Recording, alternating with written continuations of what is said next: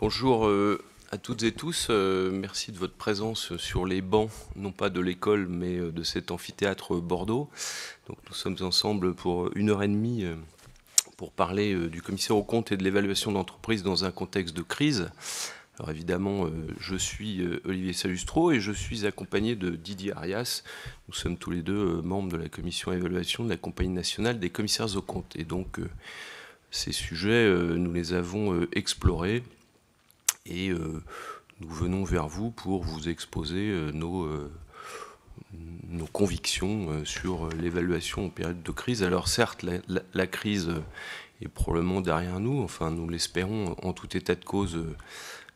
les perspectives s'annoncent plutôt bonnes, les chiffres donnés, publiés de la croissance du PIB sont plutôt positifs. Néanmoins, il est intéressant et important de se dire que nos pays euh, industrialisés, euh, tertiarisés, euh, connaissent des crises régulières et que ce qu'on va vous dire sur le contexte de la crise liée à la crise sanitaire mérite, si jamais une nouvelle crise se présentait, de voilà, faire partie de vos, de vos réflexes. Alors évidemment, contexte de crise euh, comme celle qu'on vient de connaître, euh, ça veut dire que finalement, euh, on a à un moment donné une, un, brouillard qui se lève, un brouillard tel qu'on ne voit plus, on ne voit plus à deux mètres, et qu'on est dans l'incapacité totale de faire des prévisions, frappé qu'on est par des incertitudes totales. je dois dire que quand l'activité s'est arrêtée je crois que c'était en mars 2019, je n'ai plus vraiment souvenir de la date, mais disons qu'en en, avril, mai, euh, juin, euh, tous les travaux d'évaluation ont, été, mis sous le boisseau, précisément parce que on n'avait pas de vision du futur, en tous les cas on n'était pas dans la capacité d'imaginer le futur. Alors même si euh, il est toujours difficile de, faire des prévisions, en tout état de cause, dans ces périodes-là, c'est encore plus compliqué. Euh, et alors, ce qui est aussi euh, compliqué, c'est qu'évidemment, les transactions d'entreprise sont stoppées, c'est que les, bourses s'affolent, et que, voilà, un certain nombre d'alternatives qui s'offrent à nous, évaluateurs, pour contourner euh, l'absence de prévision euh, qui pourrait être la mise en œuvre de comparables, on y reviendra, eh bien, tombe également à l'eau du fait que les paramètres économiques et financiers et que les cours de bourse sont totalement perturbés, sont devenus illisibles. Donc voilà ce qu'on va essayer de, partager avec vous ce matin. on, gardera euh, on gardera une partie, si vous le souhaitez, euh, à la fin pour euh, répondre à vos questions, si vous en avez. Je pense que vous en aurez. voilà. Merci Olivier pour cette introduction. Bonjour à toutes et à tous. Donc, au, cours de cet atelier d'une heure trente, nous vous proposons de partager avec vous les caractéristiques de la crise financière, comment on peut la caractériser, quels sont euh, ces, euh, éléments euh, perturbateurs et comment ces éléments perturbateurs, comme l'indiquait Olivier, impactent notre, rôle d'évaluateur et, nos, modèles et nos habitudes. Nous ferons un, rappel des principales méthodologies d'évaluation. on peut les citer dès à présent, hein, l'évaluation patrimoniale, hein, les méthodes analogiques, les méthodes intrinsèques, et est-ce que certaines tombent en désuétude compte tenu du contexte de crise ou d'autres sont, sont, à privilégier? Ces sujets sont abordés. Nous mettrons deux focus sur, les deux méthodes usuellement utilisées, la méthode du, DCF, et nous verrons comment, euh, comment euh, cette, méthodologie est impactée par le contexte de crise et quelles, euh, quelles solutions, quels traitements on peut apporter. Et nous ferons également un focus sur les méthodes analogiques, les comparables, et nous verrons si ces, méthodes-là, qui sont euh, usitées de façon régulière, sont toujours d'actualité. Olivier, je te propose de nous résumer en, quelques slides quel est le contexte de crise et comment celui-ci euh, influence notre, notre métier d'évaluateur. D'accord. Euh, bon, enfin, je vais, je, vais, euh, je vais énoncer des évidences, mais euh, il, est bon de les, il est bon de les lister. Donc, les conséquences économiques de la crise qu'on a connue et des crises qu'on a pu connaître aussi en, en 2008. Hein. en général, c'est que la demande, la demande baisse. les entreprises voient leurs commandes annulées, ou en tous les cas la prudence et la suspicion s'installent, et donc tout le monde euh, lève le pied euh, et, gèle, les commandes. donc la demande se, rétracte, l'offre également se rétracte. on a une série de, pertes qui apparaissent qu'on n'avait pas imaginé du tout dans un modèle, normal. Évidemment, tout le monde voit ses budgets ou revoit ses budgets à la baisse. Ça, c'est pour, euh, je dirais, l'activité économique classique. Les marchés, euh, euh, les marchés boursiers, notamment, se, mettent à, se mettent à bouger de manière très, très, très irrationnelle, avec une volatilité très forte, avec des comportements encore plus moutonniers que d'habitude. Et puis, euh, comme je l'ai dit euh, d'entrée, euh, on rentre dans, une zone où il est difficile de faire des prévisions, ou en tous les cas, si on fait des prévisions, celles-ci sont généralement contestées ou battues en brèche par, par ceux qui les, qui les lisent. voilà, c'est une, des caractéristiques principales de ces, de ces crises. également, ce, qui est, ce, qui est, ce qui est nouveau pour la crise liée au Covid-19, c'est c'est les incidences des, mesures de soutien aux entreprises qu'on n'avait pas eu euh, lors de la crise de 2008, hein, où euh, pas grand-chose n'était intervenu. Là, effectivement, on a eu toute, une, série de mesures que je ne rappelle pas, parmi lesquelles le PGE, le chômage partiel, etc., qui sont venues finalement bouleverser au sens premier du terme le, modèle économique des entreprises. Et évidemment, tout cela euh, a peut-être conduit euh, certaines entreprises à, euh, s'endetter plus que, de, d'habitude, notamment les, PGE. beaucoup, ont, été pris par, précaution et n'ont pas forcément été consommés, ce qu'on a pu voir par, endroits, mais pour autant, l'endettement des entreprises a pu s'accroître, ce qui n'est pas évidemment sans impact sur l'évaluation d'entreprise. Donc tout cela a, des conséquences euh, très fortes sur, euh, sur l'évaluation des entreprises, sur la, valeur recouvrable des goodwill et puis euh, sur tout un tas de choses. sur finalement la question des prévisions financières, je ne vais pas, vais pas m'étendre plus que ça.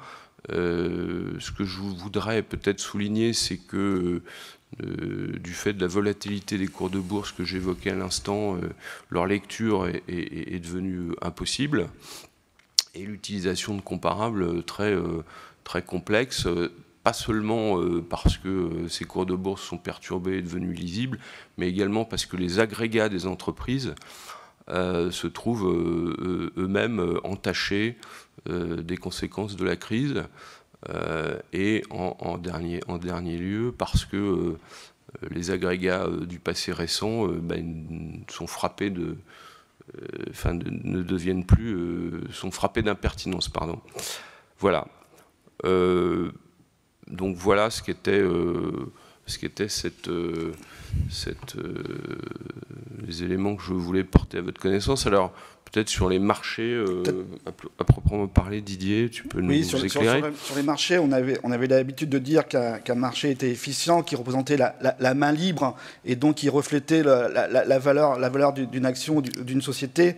On voit que dans le contexte de crise, de volatilité extrême euh, des, courbes, bah, que ce, marché-là, en fait, ne peut pas être considéré comme une, comme une référence, puisque l'irrationnel domine. Donc, euh, à partir du moment où on a pu un, un marché comme référence et que les décisions sont prises sur des critères autres que, que, la juste valeur, des critères qui sont difficiles à caractériser et qui, qui relèvent plus, de, comme, dit, comme le disais, de, l'irrationnel, sans, fondamentaux euh, mesurables, quantifiables, bah, tout ceci est, difficile à, évaluer. Et, donc, tout ceci jette une forte suspicion sur, sur les paramètres financiers euh, qu'on est habitué à, utiliser dans, dans nos évaluations.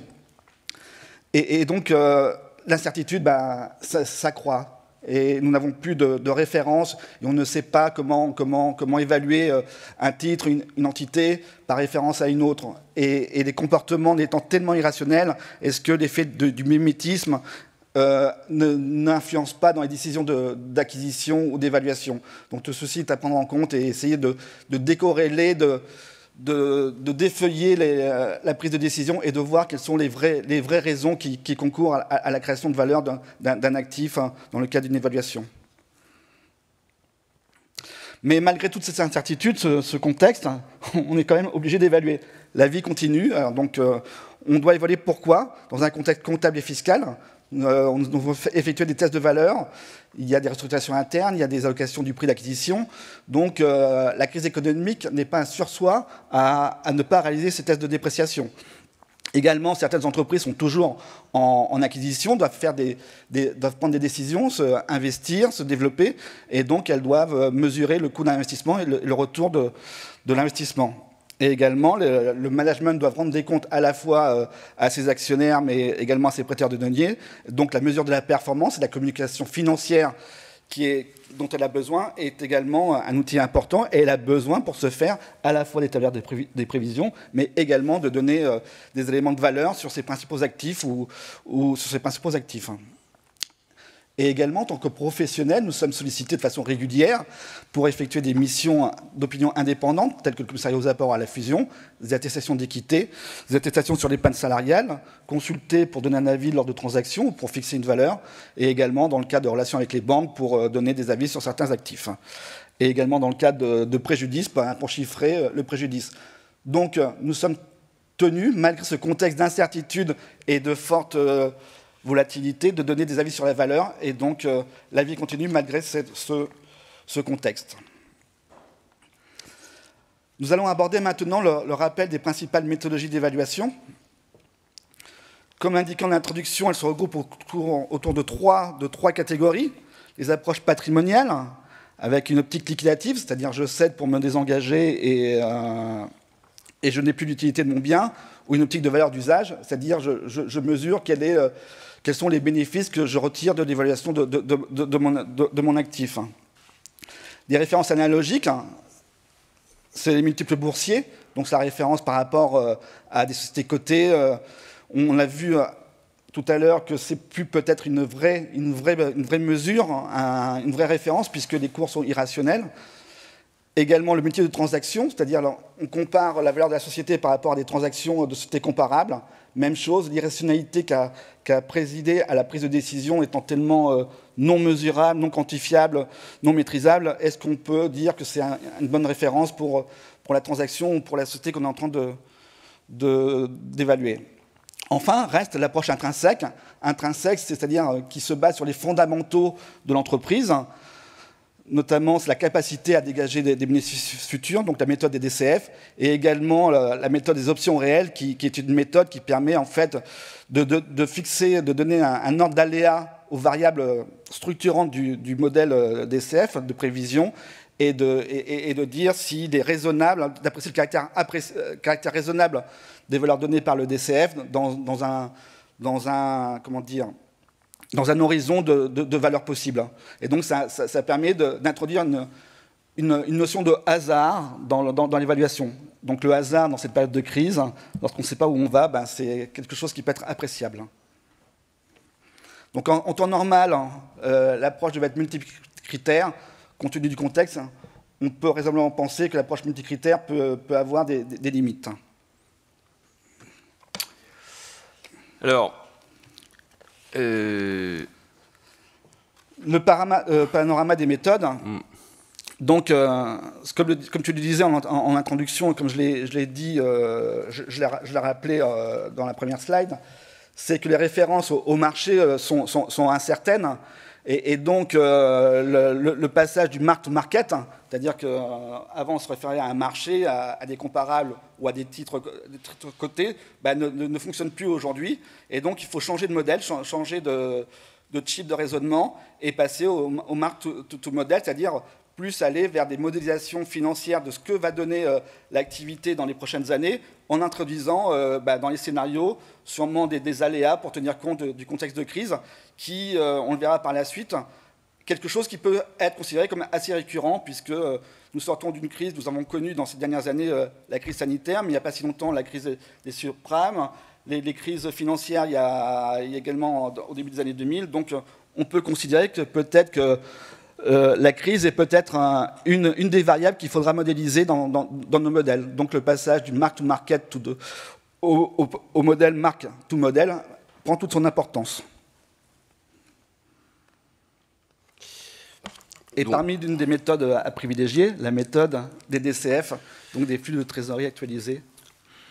Euh, alors, évidemment, euh, je ne suis pas très objectif euh, je ne vais pas être très objectif dans mes propos parce que je suis un, amoureux de la méthode du DCF et un, détracteur de la méthode analogique.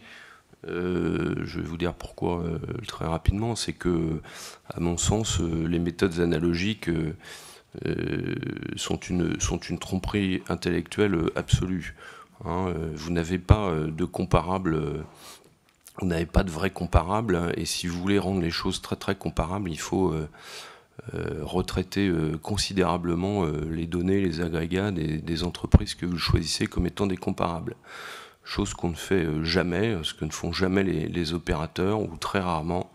Et donc les méthodes analogiques sont, sont utilisées de manière tellement rudimentaire que moi je les j'ai tendance à pas les pas les, bannir pas les bannir mais à ne pas les, les prendre comme étant très très respectable et pas forcément pertinente.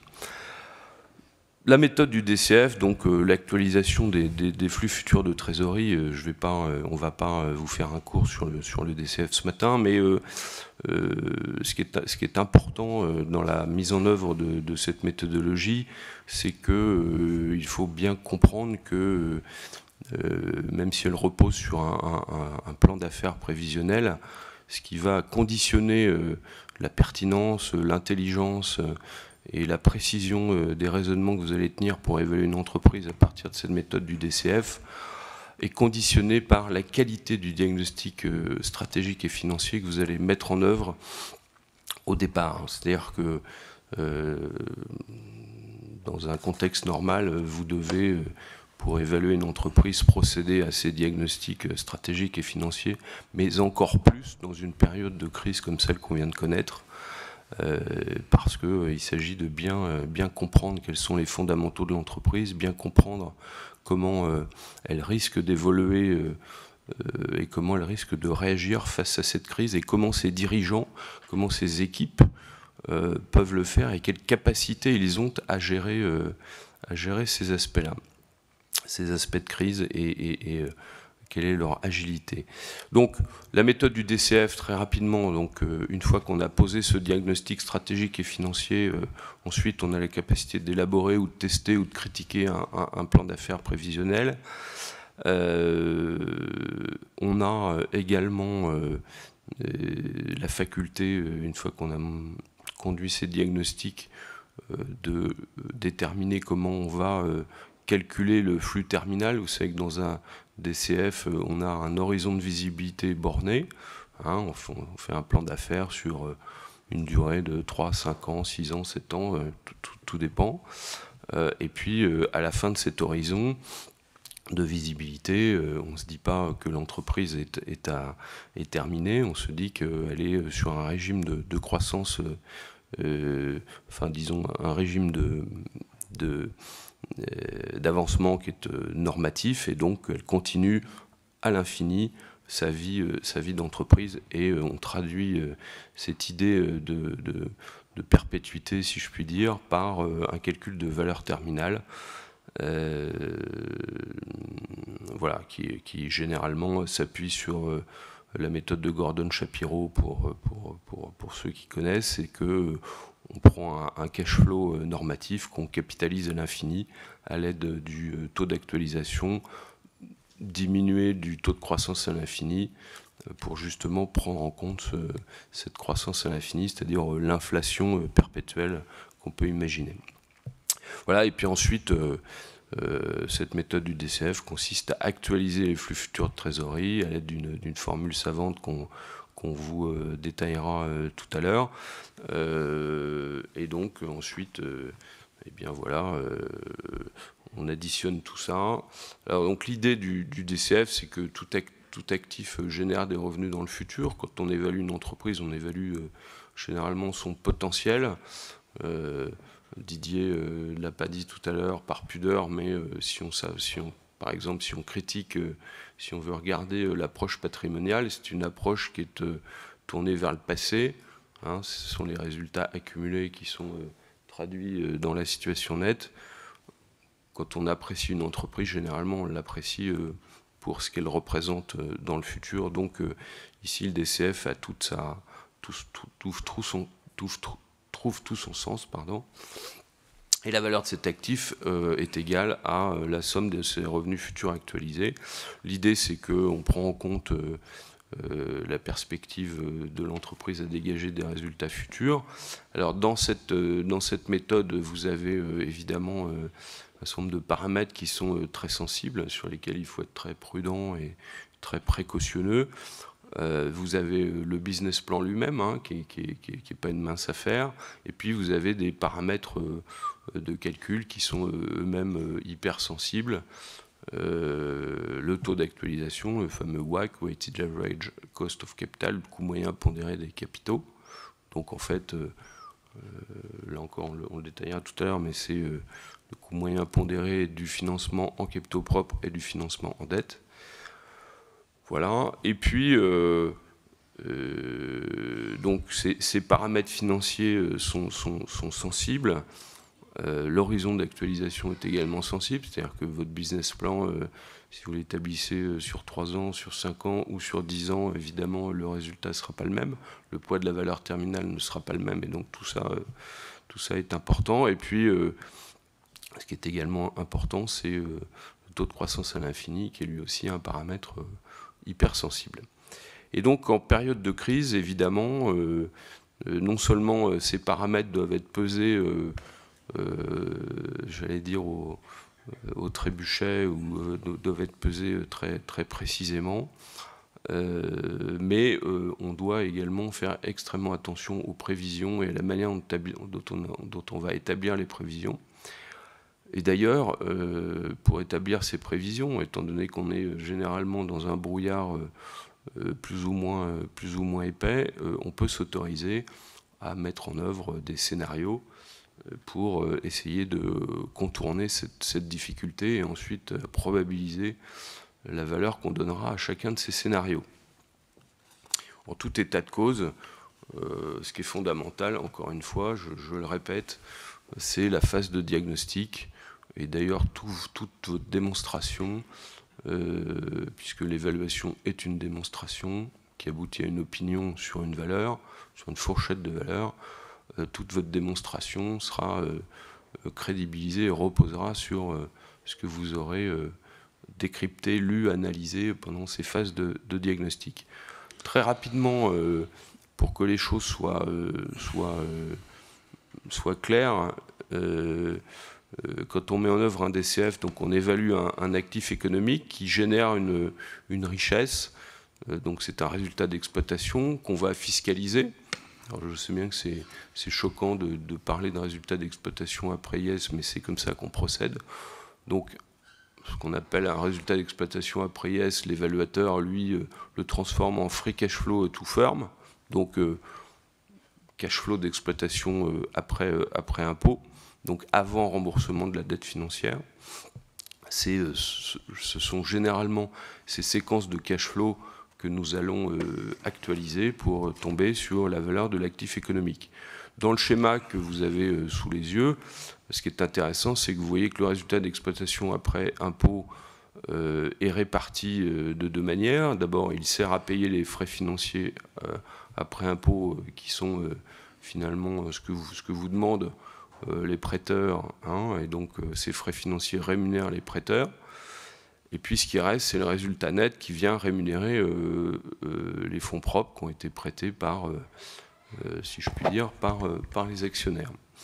Et donc ce schéma vous montre clairement que le WAC, donc le, taux d'actualisation est la composante du risque pris par les actionnaires et du risque pris par les prêteurs de, par les prêteurs de dette, mais on détaillera tout ça plus tard. Et peut-être dès à présent introduire la, distinction entre la valeur d'entreprise et la valeur des fonds propres qu'il ne faut pas confondre.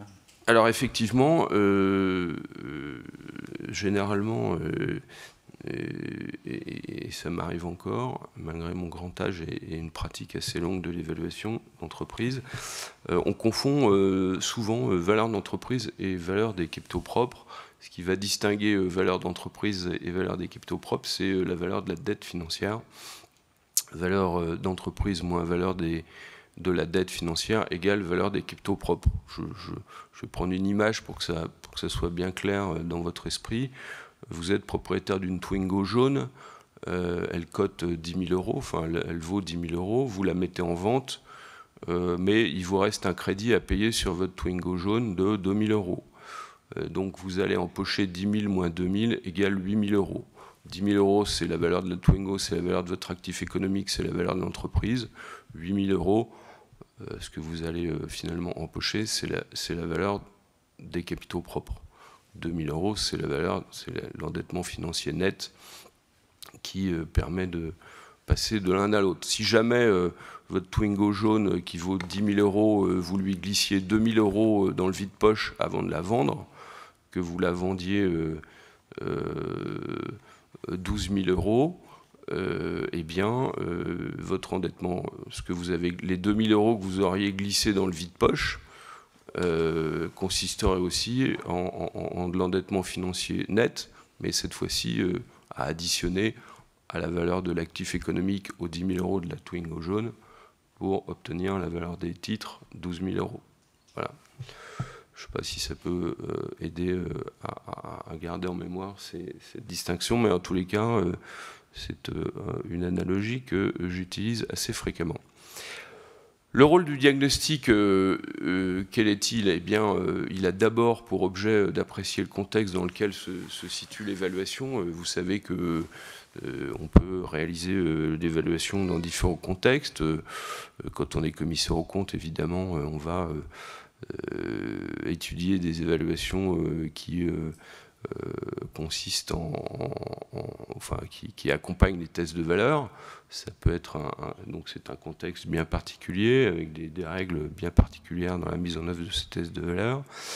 Autre contexte, transaction, session, achat-session, par exemple, ou bien commissariat aux apports, commissariat à la fusion le contexte ou contexte fiscal d'ailleurs, pardon, le, contexte va euh, conditionner un certain nombre de, je dirais, de réflexes euh, qu'il faut euh, prendre en compte si vous êtes par exemple commissaire à la fusion.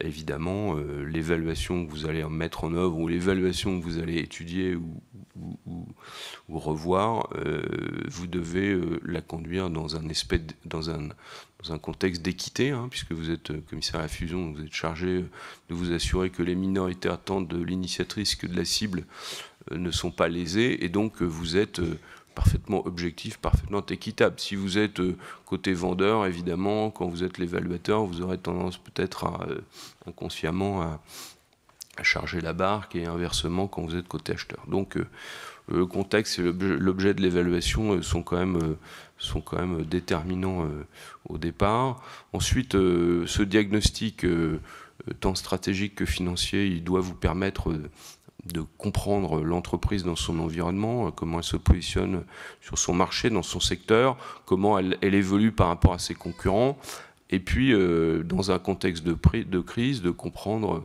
comment se comporte le secteur, est-ce qu'il est sinistré, pas sinistré, est-ce qu'il peut se recomposer, et s'il se recompose, euh, sous, quel format euh, et avec quelle perspective? Donc euh, pendant la crise, mettons qu'elle soit derrière nous, moi j'ai eu à évaluer des, des, biotech.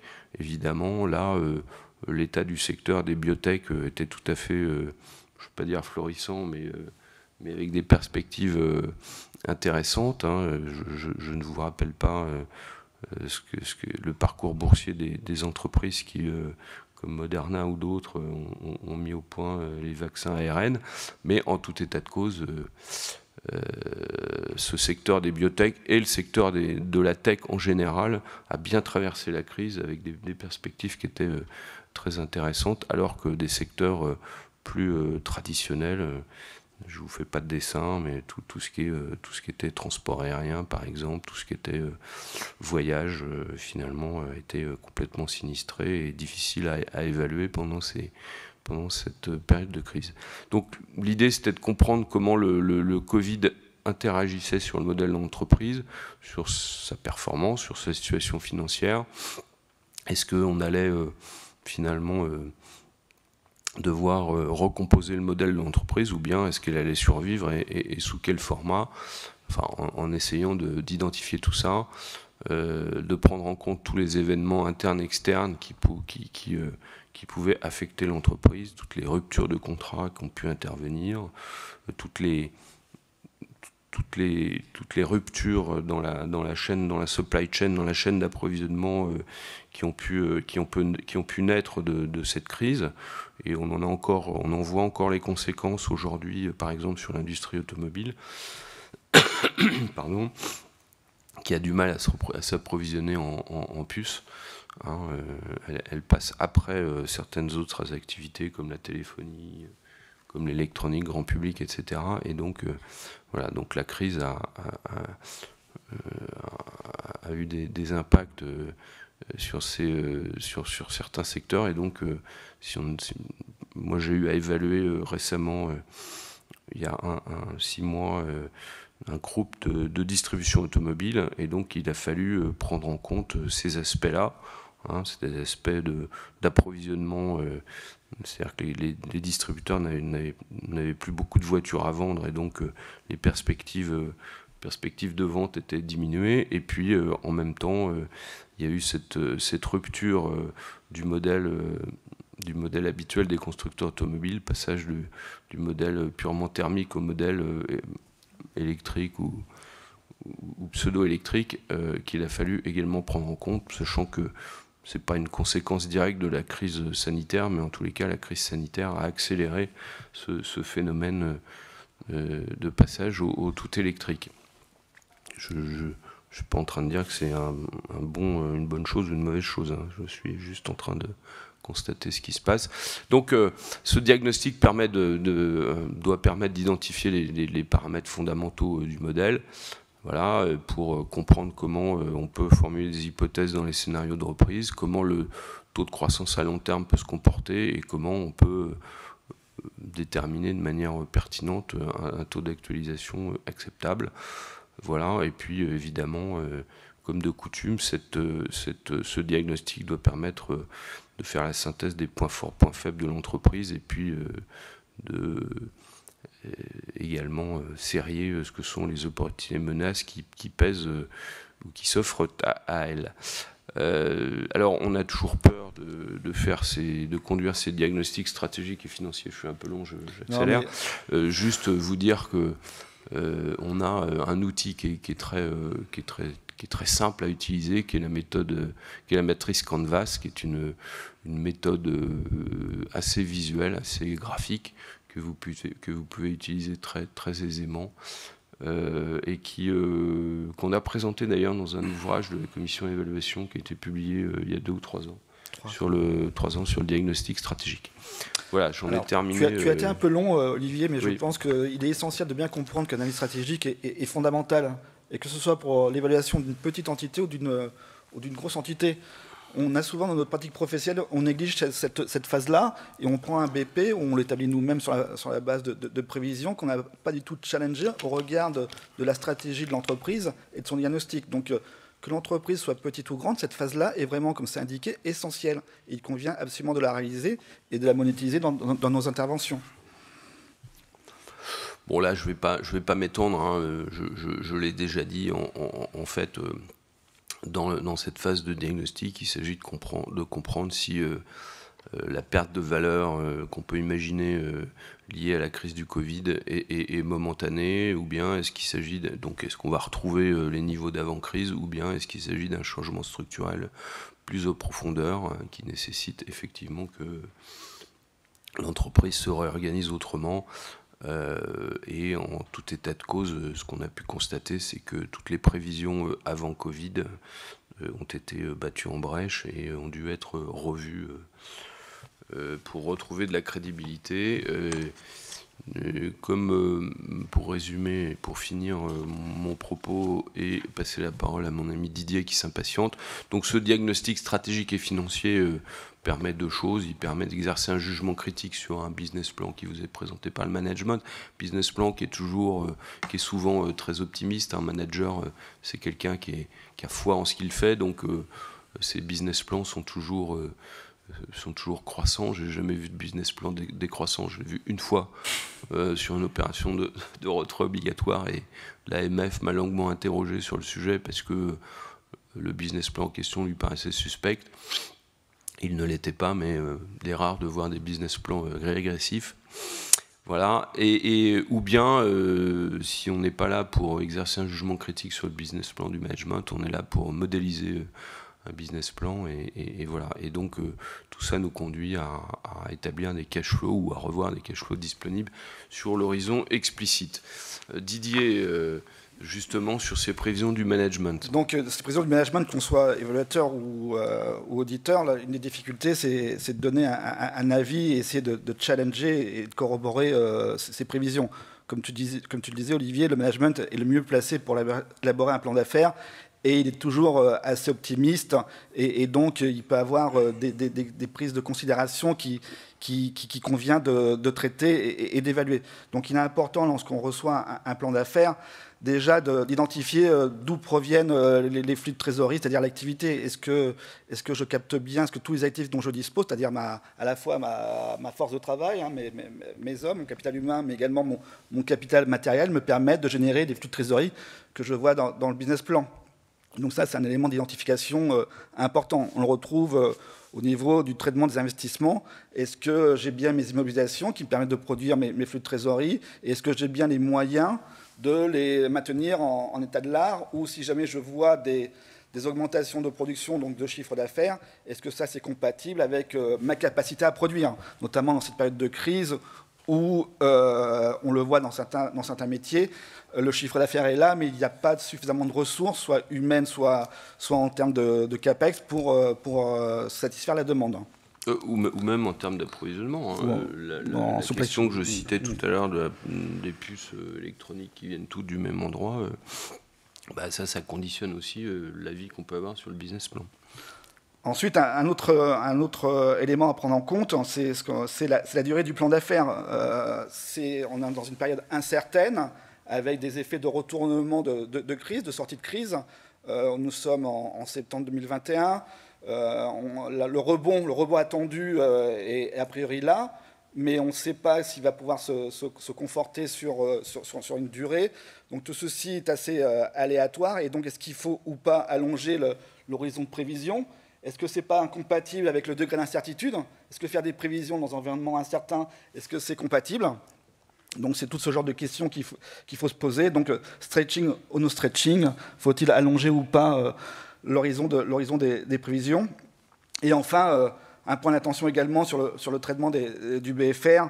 Donc on, sait que nos entreprises en France ont été impactées des normes de report, d'un certain nombre de reports d'échéance de dette fiscale et sociale. Donc le BFR a naturellement été impacté. Et donc il faut essayer de d'extraire euh, ces, biais pour retrouver un BFR normatif et, pouvoir euh, le, traiter. Et également, dans l'autre sens, euh, un certain nombre d'entreprises ont pu mobiliser des crédits d'impôt, donc avoir de la, trésorerie bien avant l'échéance normale. Et donc là également, il y a un point d'attention à, surveiller sur, ces éléments-là. juste pour souligner ce que vient de dire Didier, la question des variations de BFR est souvent très mal traitée dans les évaluations euh, qu'on a à, lire ou à critiquer ou à revoir. Euh, et c'est une, une question difficile que celle de la gestion des variations de BFR. Euh, pour autant, il ne faut, pas, faut pas la négliger parce qu'elle peut avoir des impacts extrêmement significatifs dans la, dans la valeur calculée, puisqu'en général, ces variations de BFR interviennent de manière assez, assez erratique les premières années du business plan, ou en tous les cas sont très sensibles les, années, les premières années du business plan. Après, elles se normalisent normalement, mais donc voilà, donc elles pèsent beaucoup sur la, valeur calculée.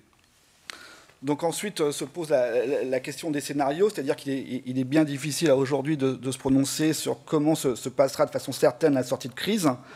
Donc il faut euh, une des méthodes et, d'utilisation de scénarios probabilisés, c'est-à-dire, euh, comme recommandé, ben, sur des perspectives différenciées pour traiter les incertitudes. C'est-à-dire on fait plusieurs scénarios et on leur en fait une probabilité de réalisation et on, en tire des, conclusions pour savoir celui qui est le plus probable de se réaliser et, c'est le scénario le plus attendu. Euh, ce qui est important dans, ce, genre d'exercice, et, je rebondis sur le, business plan et le DCF, c'est lorsqu'on essaye d'intégrer des, scénarios, on ne le fait pas à deux endroits différents. C'est-à-dire si on a des incertitudes sur, euh, sur le business plan, on ne met pas de l'incertitude à la fois dans le taux d'actualisation et à la fois dans, les flux de trésorerie. On en tire les conséquences de façon privilégiée sur, le, sur, les flux de trésorerie.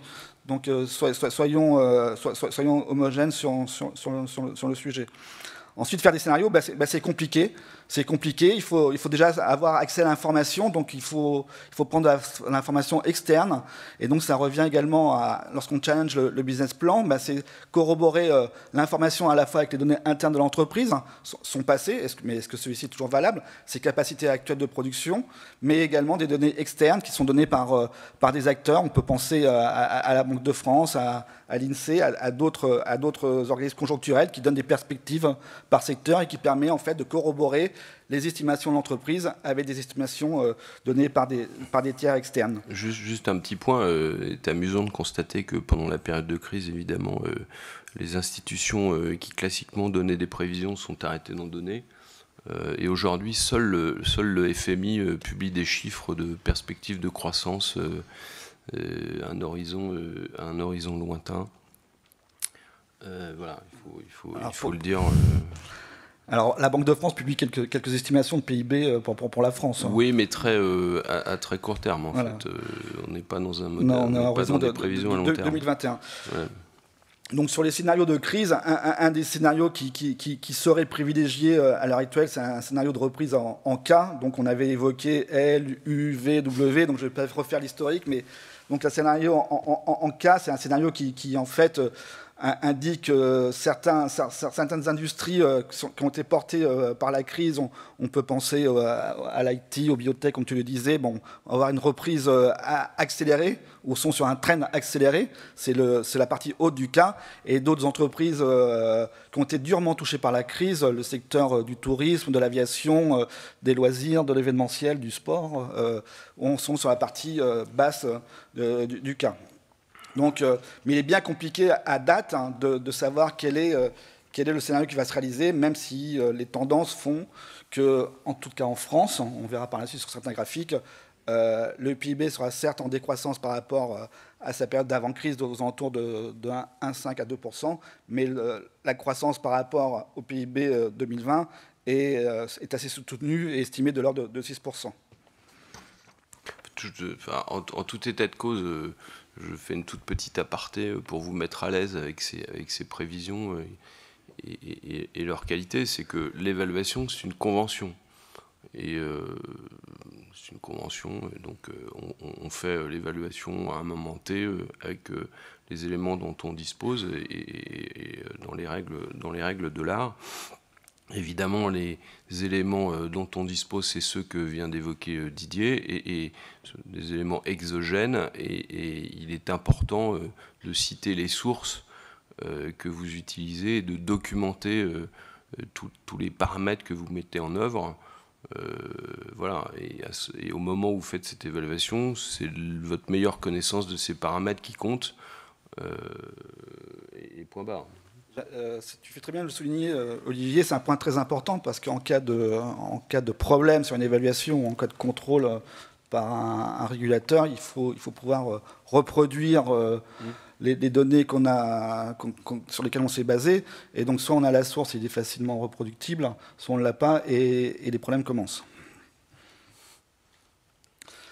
Donc, en, tout état de cause, pour challenger le, business plan, il faut, apprécier et identifier les qualités. D'une part, apprécier quels sont les fondamentaux de l'entreprise, apprécier euh, ses qualités. Donc, ça, c'est l'analyse Canvas qui, peut nous aider et, le SWOT.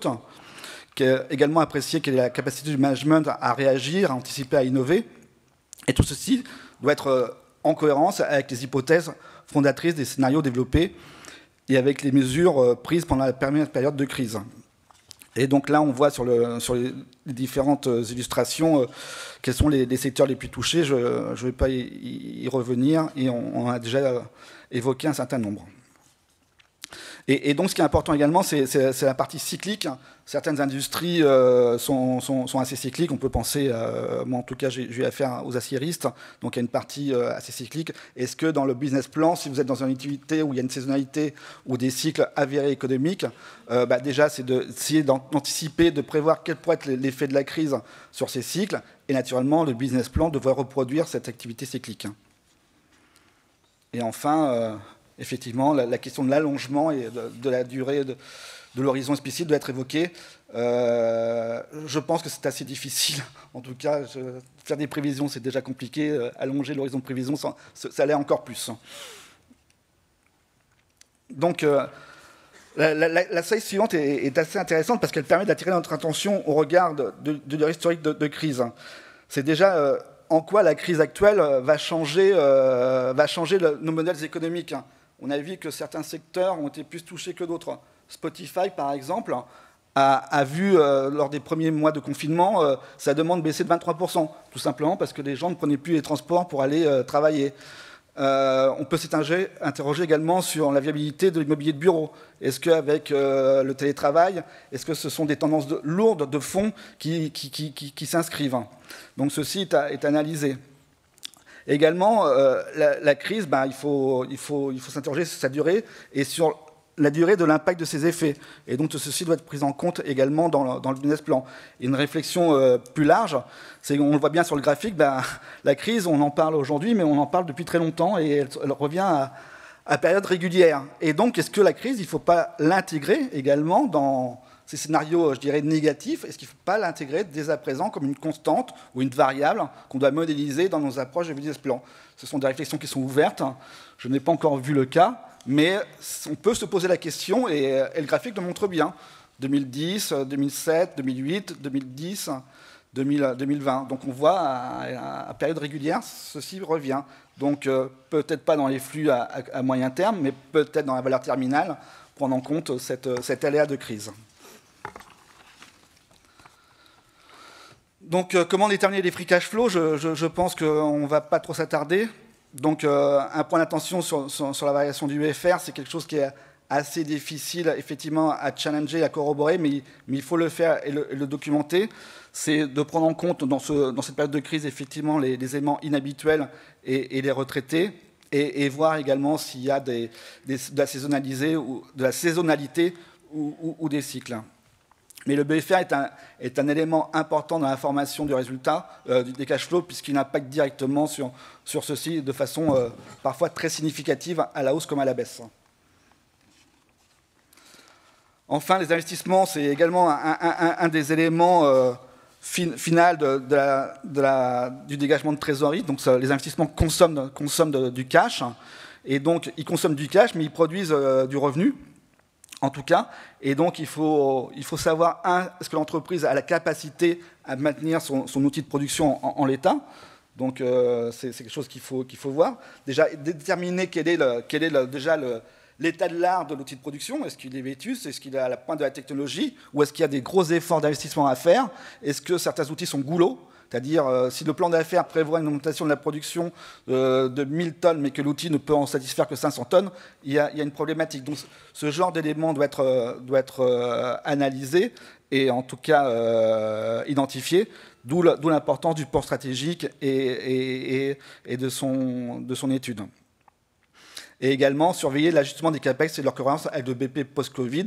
Est-ce que les anticipations de, reprise d'activité ben, est euh, avec l'investissement euh, nécessaire pour satisfaire cet accroissement de demande rapide, mais certainement sur une période assez courte? Et comme j'ai indiqué, contrôler également la faisabilité du financement des CAPEX. Est-ce que l'entreprise a-t-elle déjà dépassé, compte tenu des PGE, ses capacités d'endettement et est-ce qu'elle peut aller euh, encore demander euh, des, fonds à, ses prêteurs de deniers? Un des points importants de, la valeur d'entreprise et des free cash flow est le poids de la valeur terminale. Comment se détermine-t-elle et quels sont les points d'attention, euh, Olivier? Alors, j'ai un tout petit peu défloré le sujet tout à l'heure. Donc, euh, la valeur terminale, euh, euh, c'est la valeur qui, représente l'horizon, au-delà de l'horizon explicite du, business plan. Cette, valeur terminale, il y, a, il, y a deux, il y, a, deux, pistes pour la déterminer. Soit on s'appuie sur Gordon Shapiro, donc on capitalise à l'infini un flux normatif avec euh, deux, problématiques. Et euh, la première, celle de déterminer euh, le free cash flow normatif. Donc, comment fait-on pour, pour se dire que ce, free cash flow peut, se, peut constituer une rente, une rente perpétuelle hein, C'est ça, ça, la question. Et puis, c'est le numérateur. Et puis le dénominateur, à, quel taux, à quel taux je capitalise ce, ce, free cash flow que je vais ensuite euh, actualisé, hein, c'est ça, c'est un peu ça la, difficulté. Euh, eh bien, euh, au WAC, diminuer du taux de croissance à l'infini, donc qui est finalement la pente perpétuelle qu'on imagine pour l'économie et le secteur de l'entreprise qu'on cherche, à, qu'on cherche à évaluer. généralement, d'ailleurs, pour ce, ce, taux de croissance à l'infini, donc le, taux de croissance à, long terme, le G, on prend, euh, le, taux d'inflation. Euh, voilà. Euh, alors en ce moment, on parle d'une inflation, d'une inflation qui s'accroît du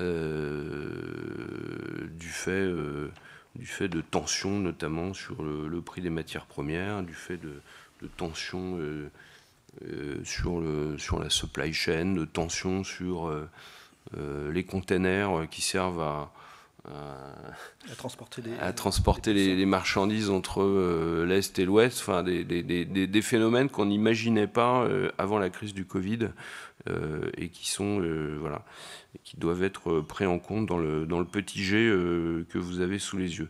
Donc le free cash flow normatif, si on tourne la page, eh bien euh, il est, euh, il est le, free cash flow au moment où euh, l'horizon explicite s'éteint et au moment où finalement le chiffre d'affaires et le besoin en fonds de roulement sont dans, une, dans un accroissement qui est sensiblement, sensiblement le même que celui de l'économie à long terme.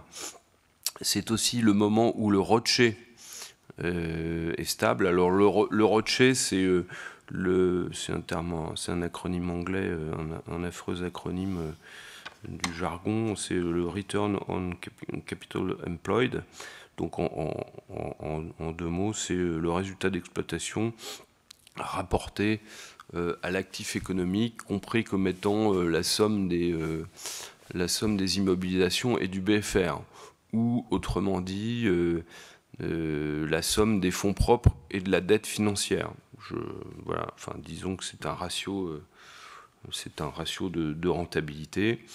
Euh, et donc, euh, on peut considérer que le cash flow est normatif à partir du moment où ce rocher se stabilise, à partir du moment où, si vous voulez, la marge, hein, le taux de marge et le taux de rotation de l'actif économique sont, stabilisés. C'est-à-dire que l'entreprise continue de vivre euh, sa vie euh, gentiment. Et puis euh, également, dans, la construction de ce flow normatif,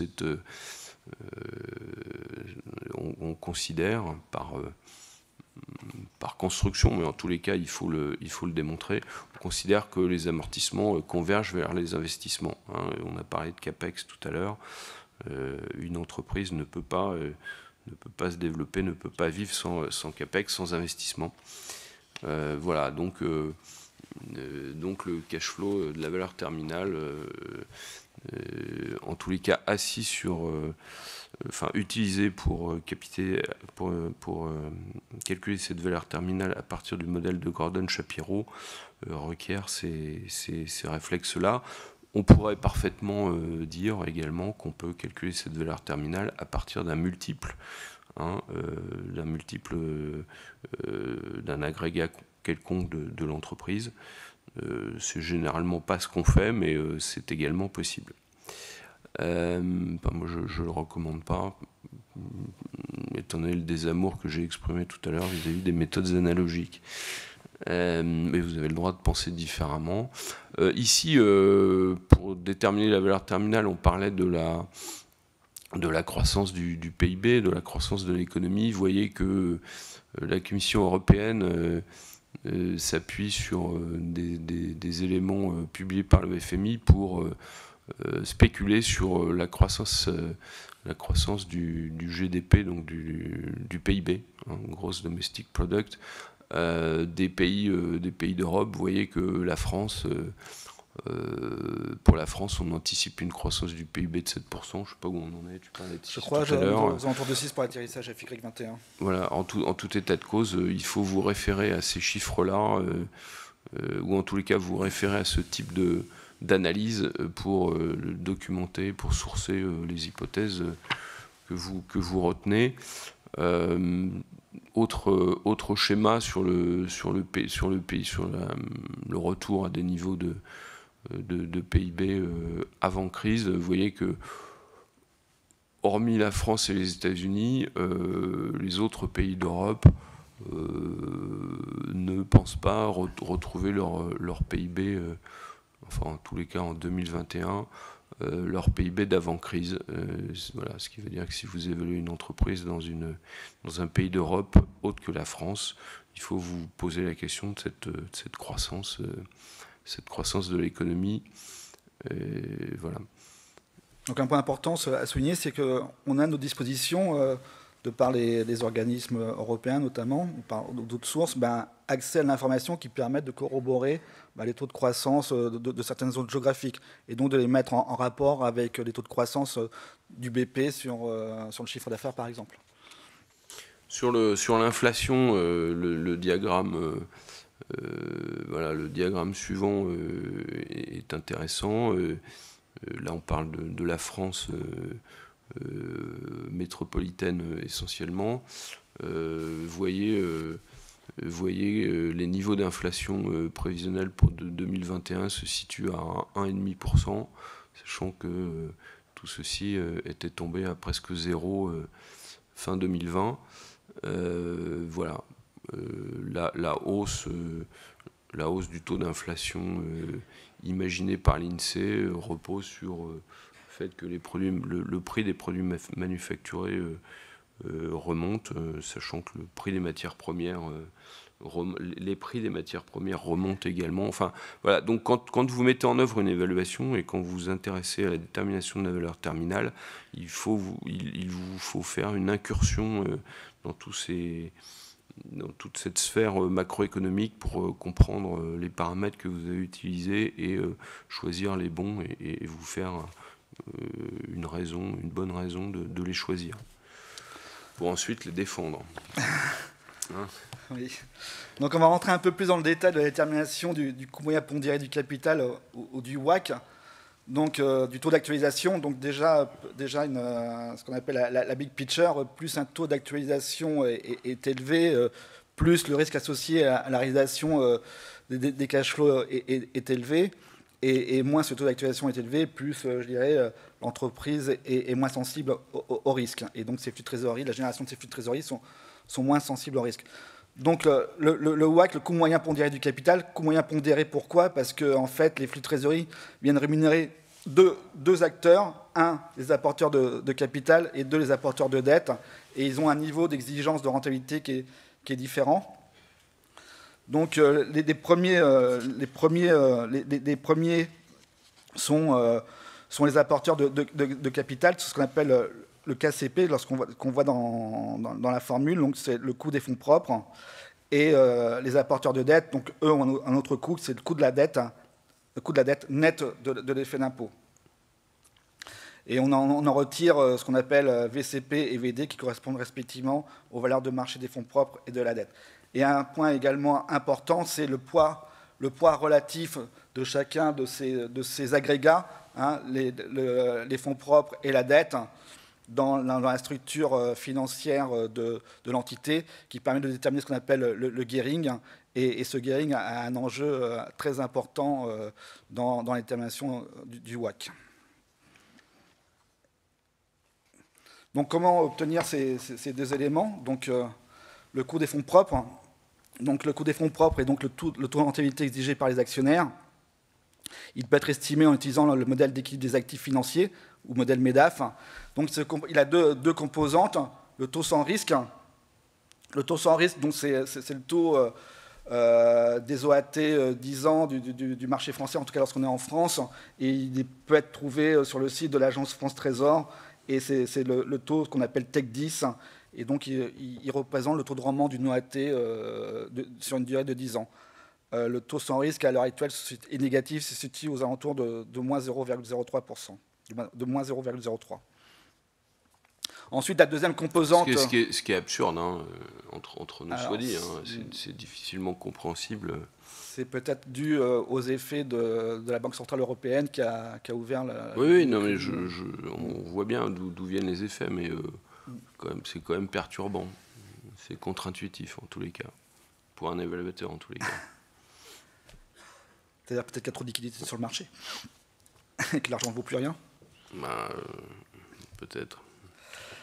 Ensuite, euh, la deuxième, euh, la deuxième partie de l'équation, donc c'est la partie plus marché, plus spécifique à, l'entité.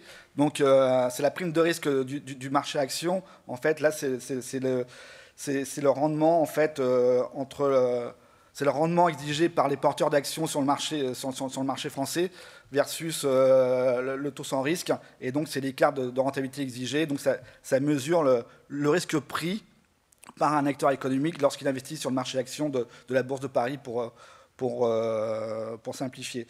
Donc euh, ce, taux sans risque est, important, il évolue. Dans cette période de crise, bah, il, a, il, est monté assez rapidement, mais sur, sur, une période assez longue, sur, sur, le long terme, il est assez... en fait, gap d'évolution est assez, est assez... La fenêtre d'évolution est assez stable, et on ne connaît pas des, évolutions, je dirais, très importantes très volatile de, cette prime de risque.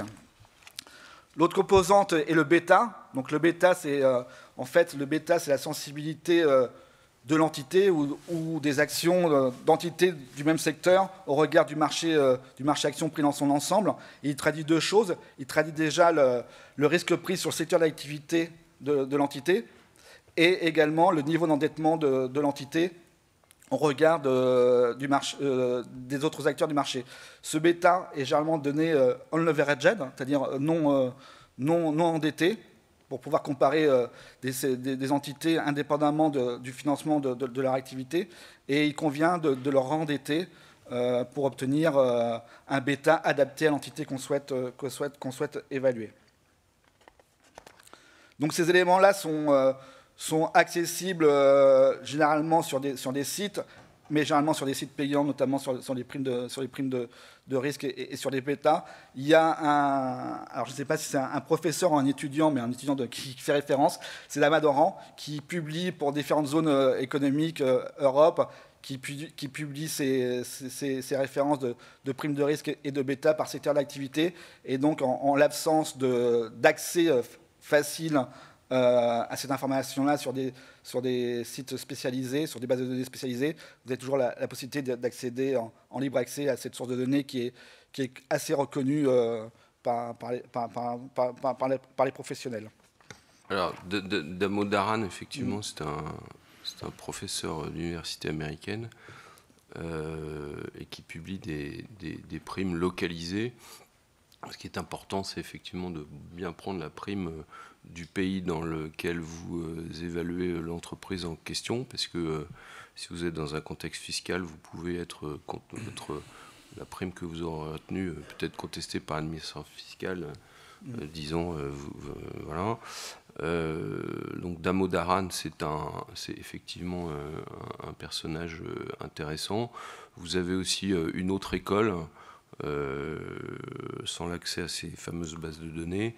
Une autre école qui consiste à dire que la prime de risque historique moyenne depuis depuis la nuit des temps, c'est-à-dire depuis que les bourses existent et depuis qu'on a mesuré euh, les choses, euh, est environ de 4,5%. Euh, moi, je, vous le dis parce que je suis honnête, je, je n'utilise jamais ces, ces 4,5%. Mais voilà, certains utilisent cette prime de, cette prime de risque marché historique, alors que dans le modèle du MEDAF, euh, euh, euh, Capital Assets Price Model, qui est le, modèle du, DCF d'origine on est sur, des, sur des, primes de risque marché prospectives hein, et, non pas rétrospectives. Donc c'est un, une déviance de la pratique, et je, le signale quand même.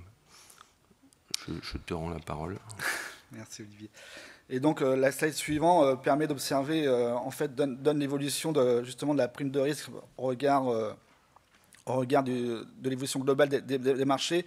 Et ce qu'on peut observer, ce qu'il faut retenir, c'est qu'elle est beaucoup moins sensible, beaucoup moins volatile que, l'évolution des marchés. Et donc, ça corrobore un, petit peu ce qu'on se dit, c'est qu'effectivement, sur longue tendance, elle évolue quand même dans un tunnel qui est, qui est, qui est, qui est assez circonscrit. Ce qui est intéressant quand même, euh, si on, si, euh, ce qui est quand même intéressant, c'est de, de voir que la prime de, la prime de risque marché euh, lors de la, la, la, crise de 2008 est montée très très haut. Vous voyez par exemple sur le schéma de, droite, vous voyez la ligne, la ligne bleu clair. Enfin, je ne sais pas si vous la voyez à l'écran, je suppose que oui. Vous voyez que la prime de risque est montée jusqu'à jusqu'à 8% en, en 2008-2009. Euh, qu'ensuite elle, est revenue à des niveaux euh, très bas et puis elle est remontée, alors que sur la crise euh, qu'on vient de, vivre, la prime de, risque marché, elle n'est pas montée si haut que ça, et puis en tous les cas, elle s'est stabilisée beaucoup plus vite. le, phénomène le phénomène étant lié au, fait que les gouvernements occidentaux ont tout de suite un certain nombre de mesures pour soutenir l'économie. Et donc, l'inquiétude des marchés s'est assez, euh, vite, euh, non pas assagi, mais euh, disons, s'est trouvé, trouvé tempérée par toutes ces mesures. Et donc, la prime de risque marché qui traduit, qui traduit le, le risque des actionnaires, enfin des investisseurs, c'est euh, calmé. Vous voyez la partie droite du, schéma, la ligne bleue, euh, est, revenue à des niveaux euh, assez sensiblement égaux à ceux d'avant crise, hein, 6,5, 6, voilà, on est, dans ces zones-là en, moyenne. Alors que vous voyez que le CAC, lui, s'est envolé, s'est réenvolé et a redépassé son niveau d'avant-crise. Donc la, deuxième euh, partie euh, du WAC, c'est le coût de la dette. Et donc euh, comment déterminer ce coût de la dette? Celui-ci doit correspondre à ce que coûterait dans les conditions actuelles de marché le refinancement de, l'actif économique non couvert par les fonds propres, c'est-à-dire financé par dette de l'entité. En pratique, comment on fait pour obtenir ce, coût de la dette? Soit on regarde quelles sont les opportunités de refinancement de, de la société, euh, on peut, également observer quels sont les derniers taux, d'intérêt servis à, l'entreprise sur, des montants significatifs. On peut regarder si l'information est disponible naturellement, quels sont les coûts de financement euh, observés euh, chez, un certain nombre de sociétés comparables. Mais comme tu l'as souligné à, multiples reprises ce matin, les comparables, il faut s'en méfier. un autre moyen plus, simple et qui est usuellement utilisé, c'est également de faire leur, rapport dette moyenne euh, qui se détermine entre la dette d'ouverture, dette de, clôture moins dette d'ouverture sur, intérêt euh, au, compte de résultat, ça permet d'avoir le, taux servi euh, au cours de l'année et ça peut être une référence. Donc le, taux de la dette, on peut l'avoir assez facilement. Ce qui est plus compliqué, c'est déterminer quel est, le, niveau de dette. Attention cependant, un point d'attention sur l'augmentation possible du coût de la dette compte tenu déjà d'une vigilance, accrue euh, des organismes financiers. Qui sont maintenant plus, plus sensibles à la qualité des dossiers et également au, niveau de, dette déjà, déjà existant au sein de l'entreprise et peut-être que le coût marginal de la dette supplémentaire est plus important compte tenu justement de cette poids de la dette qui peut engendrer des risques de défaillance.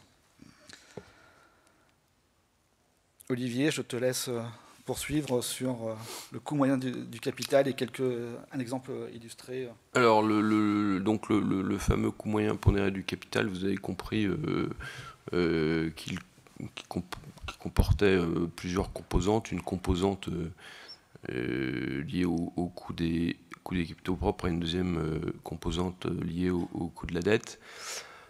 Les questions euh, qu'on peut se poser euh, dans la détermination du, WAC euh, dans, une, période de crise comme celle-là, c'est est-ce qu'il faut, est-ce qu'il faut au-delà des éléments de base que je viens d'indiquer, ou qu'a indiqué Didier tout à l'heure, taux de base, prime de risque marché et bêta, est-ce qu'il faut, est-ce qu'il faut rajouter des, primes spécifiques pour traduire l'incertitude qu'il y a et est, qui est liée à la crise? Alors, euh, normalement, euh, il faut éviter l'effet double porte de saloon. Hein. il faut éviter de, mettre des facteurs de risque à la fois dans le business plan et, euh, dans, le WAC. Normalement, le, WAC n'est pas là pour ça.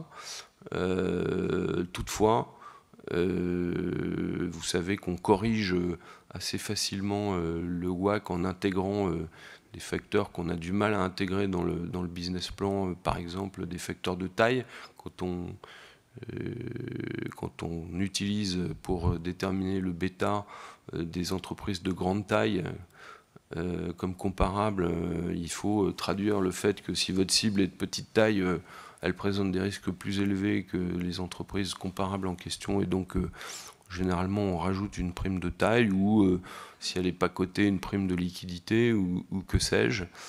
Euh, en fait, euh, euh, quand on observe toutes les évaluations qu'on a pu, a pu faire ou connaître pendant cette période de crise, on s'aperçoit que la plupart des évaluateurs ont intégré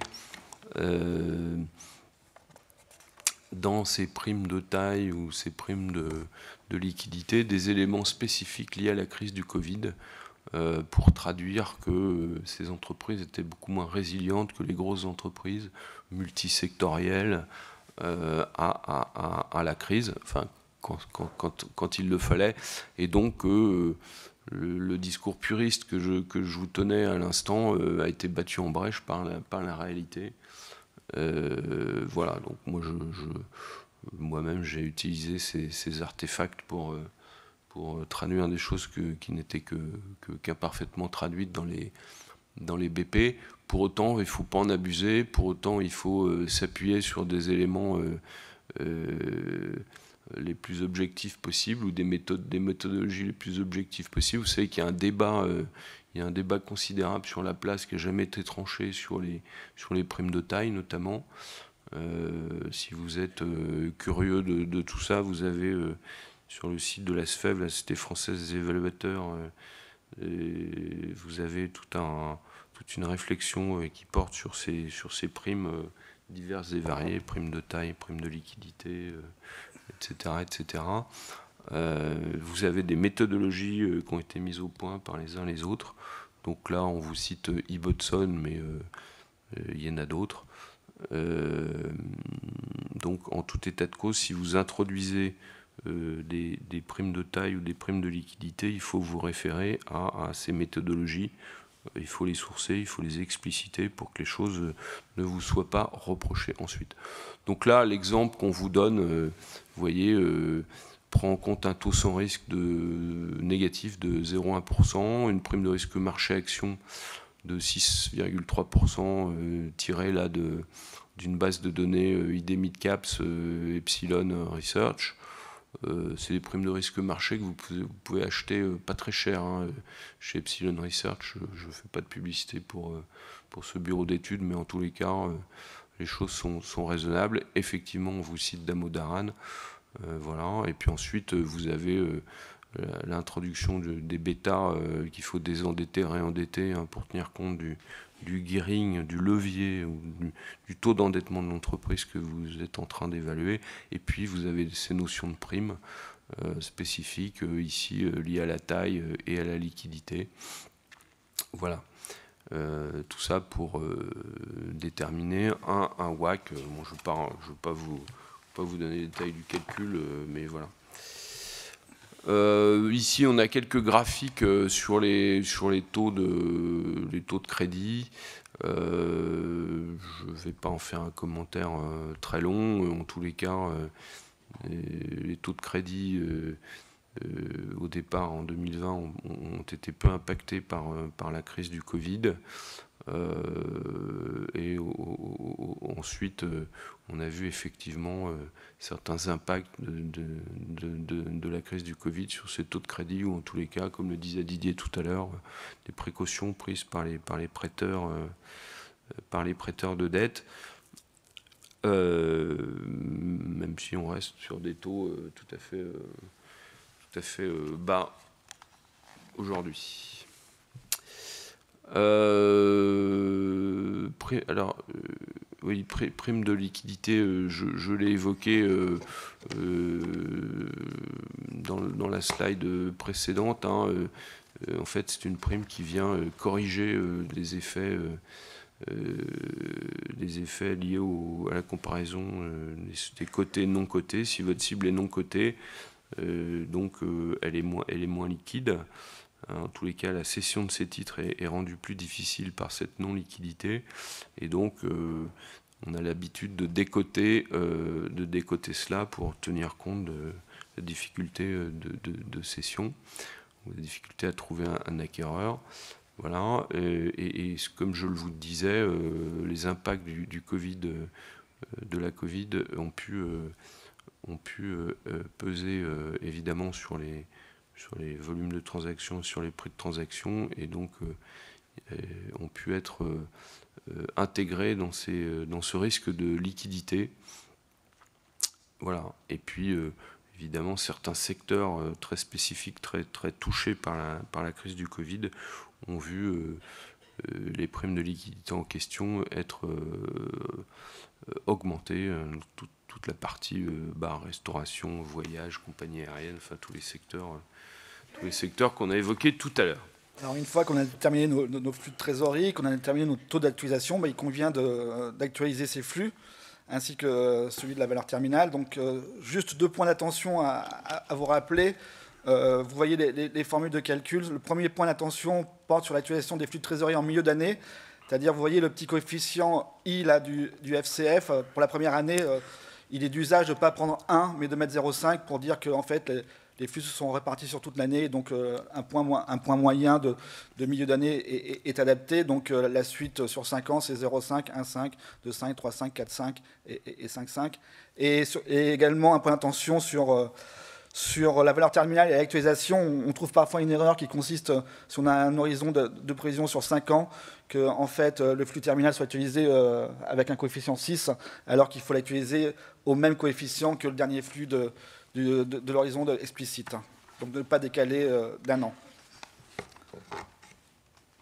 Donc euh, une fois qu'on a fait ça, euh, donc qu'on a actualisé nos, flux de trésorerie, en fait ce qu'on a déterminé c'est la valeur d'entreprise. Et donc pour passer à la valeur des capitaux propres, il convient, il convient d'enlever l'endettement net, comme cela a été exprimé en, début de, en début de séance. Donc c'est vraiment très important de bien avoir en tête ce schéma-là. Hein valeur d'entreprise moins endettement net égale valeur des capitaux propres.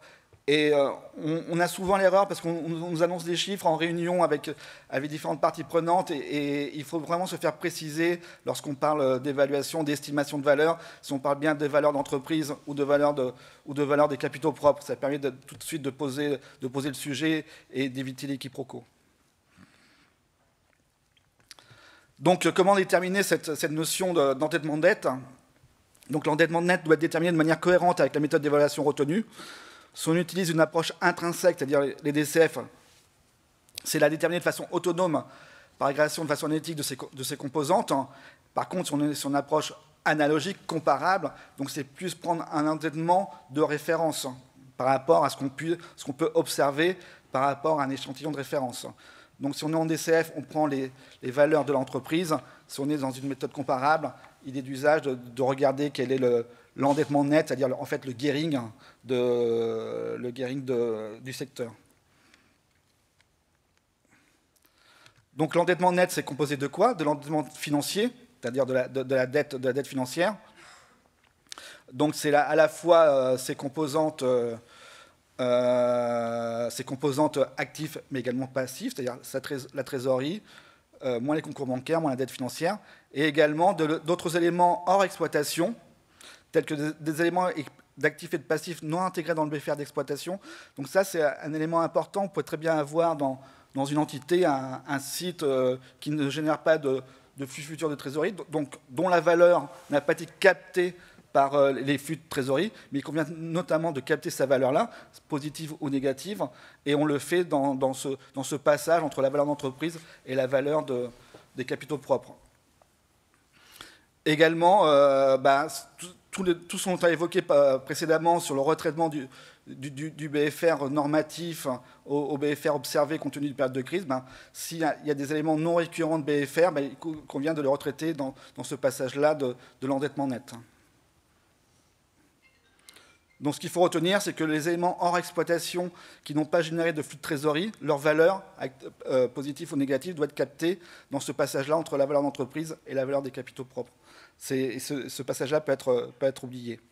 Du moins, ces éléments peuvent être oubliés. Donc euh, voilà de quoi est composé l'endettement financier, des dettes bancaires financières, court, moyen, long terme, la trésorerie, des placements financiers. Donc on prend tout ce qui est intéressant dans ce graphique, c'est de montrer, c'est de rappeler la convention de signe. Hein. Euh, l'endettement financier, euh, c'est euh, les dettes moins la trésorerie positive, ce qui fait que valeur d'entreprise moins endettement financier net égale valeur de l'equity. Voilà, donc ça, peut perturber, mais voilà, c'est comme ça. Donc une position financière positive est signée du signe moins. Donc ce qui donne dans l'équation, moins moins ça donne plus, donc valeur d'entreprise plus trésorerie nette. Voilà. Donc ça vient, lorsque l'entreprise est en endettement positif, ça vient renchérir euh, sa, valeur. Ça s'ajoute à la valeur d'entreprise. On, va passer très rapidement. Je ne vais pas tout détailler. Euh, ce qui est important, euh, au-delà de la, dette financière classique, des dettes financières classiques, c'est de se poser des questions sur tous les éléments que vous avez sous les yeux. J'en soulignerai deux. S'interroger sur tout ce qui est emprunt convertible. Est-ce qu'on considère que c'est de la dette financière ou bien est-ce qu'on prend en compte l'effet dilutif et la conversion? Ça, c'est une première question euh, à laquelle il faut répondre. Euh, tout ce qui est compte courant intragroupe, euh, qu'est-ce qu'on en fait? Est-ce que c'est de la dette? Est-ce que c'est des capitaux propres?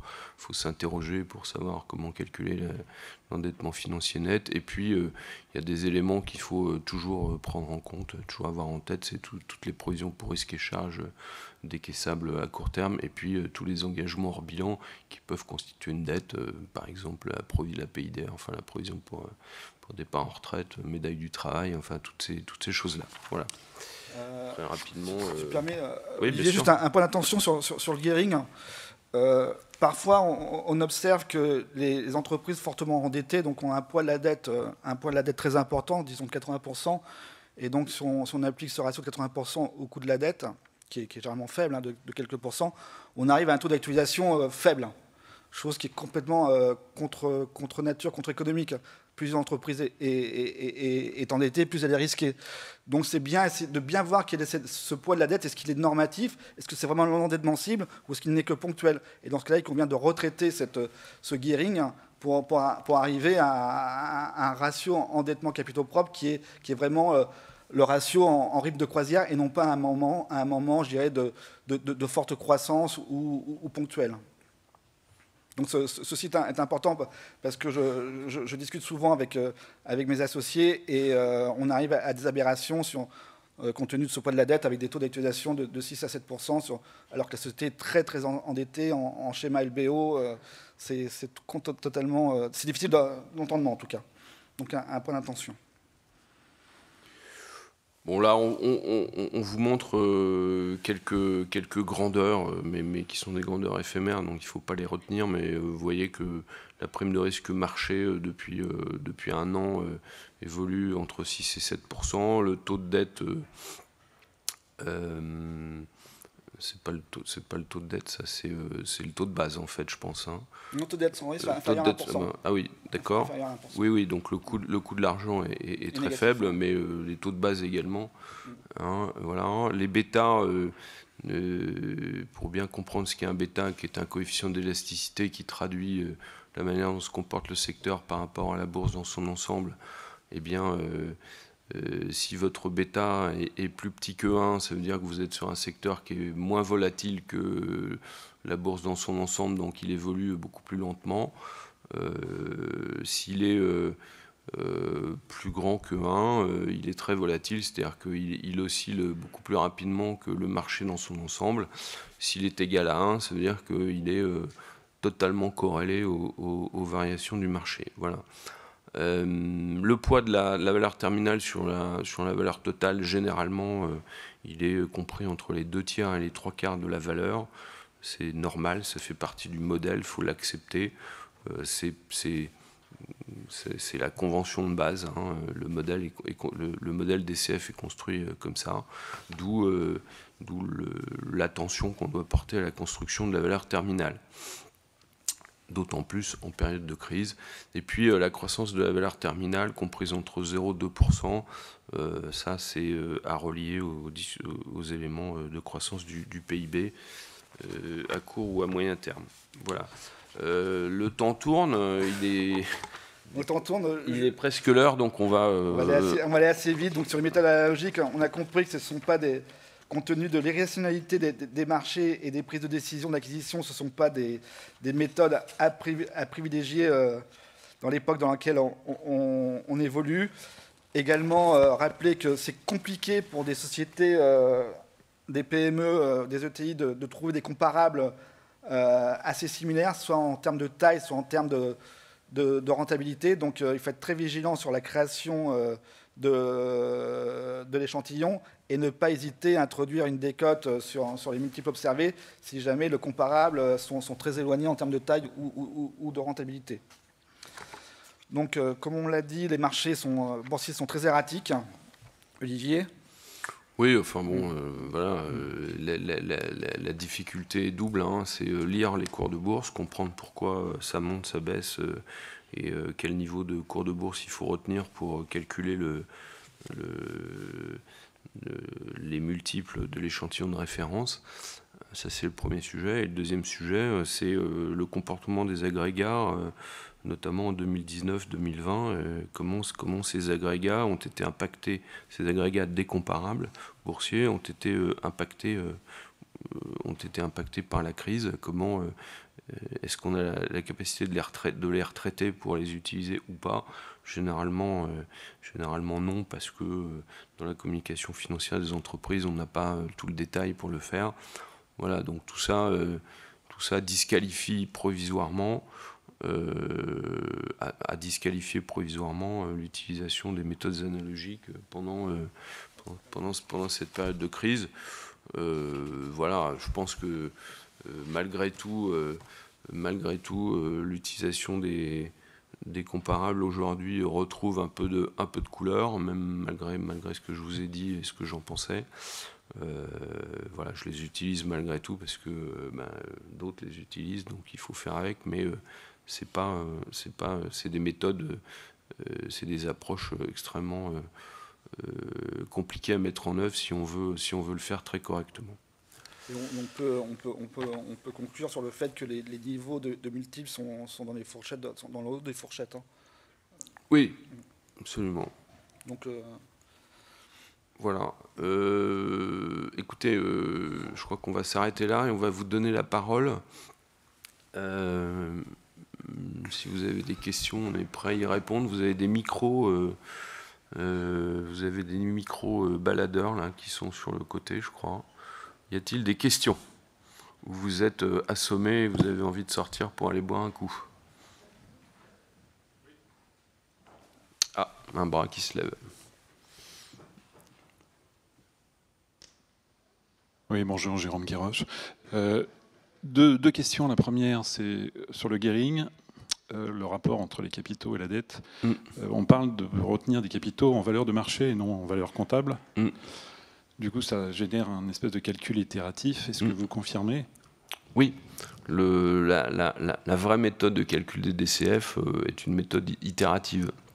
Alors en réalité, dans la pratique, on ne met pas en œuvre cette méthode itérative parce qu'elle elle est lourde elle est lourde à, manipuler, mais oui, la théorie est celle-là, oui. D'accord. Puisque, puisque c'est ce qu'on cherche en fait, c'est la valeur des capitaux propres en valeur de marché, vous avez raison. Exactement. Question pertinente.